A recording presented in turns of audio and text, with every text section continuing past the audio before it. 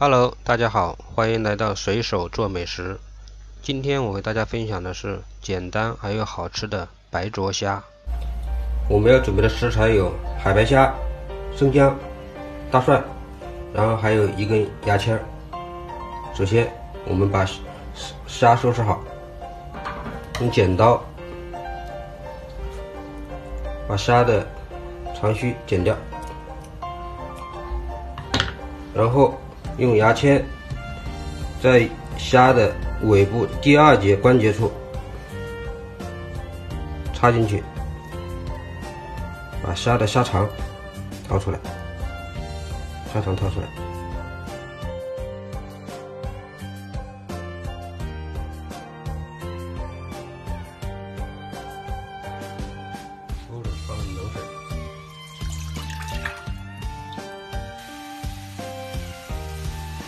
开之后，我们把虾倒入锅里，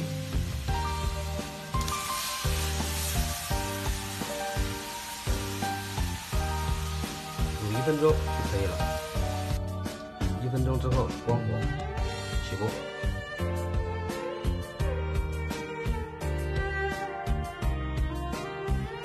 我们来配个调料：大蒜切末。生姜切末，放入少量的盐，加入豆豉油。好，我们的调料就调好了。这样，我们非常鲜嫩可口的白灼虾就做好了。